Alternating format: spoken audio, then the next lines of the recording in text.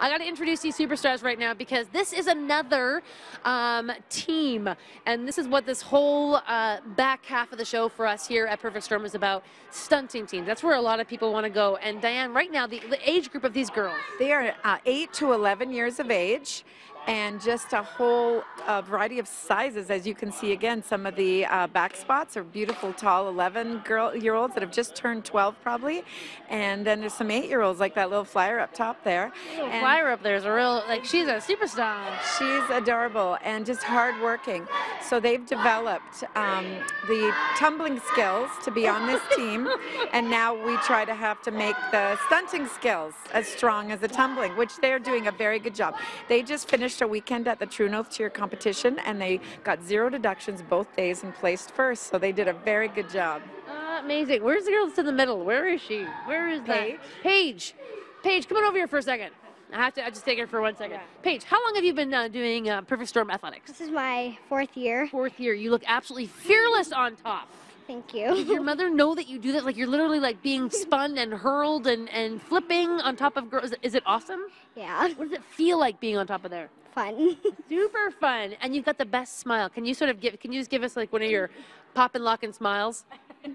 There it is. Awesome. That's a million dollar. Okay, Paige, back to work. Back to work.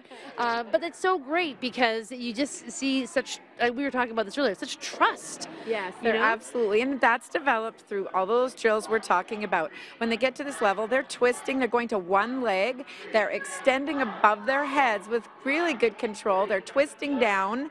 They're doing some pretty darn elite skills, switching up when they come up to these one leg positions. We're talking eight and nine, everybody, if you're just tuning in. Yeah, and remember, they came here with no skills. They came here just with a passion and love to do this, and they have fought hard to do it.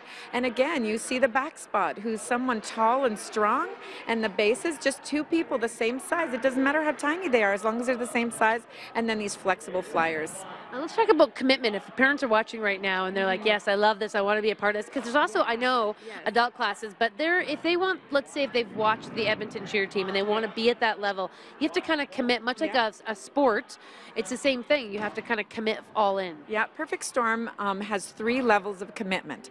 Recreation, which about 10% of the gym does. You come September to December, you don't buy a uniform, you don't go to competitions. You just learn some basic skills. It's, it's economically the easiest way to do it. Um, second level is called prep.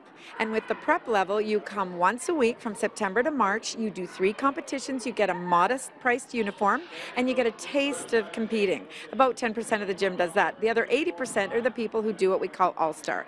They come to a placement in May, which we're hoping the people listening right now will be considering. They come to placement in May and then they do a couple practices in June, a couple in July, a couple in August, and they get to know their teammates. Then at the end of the August, we have a camp where they learn their routine. And then starting in September, they come twice a week, once during the week and once on the weekend.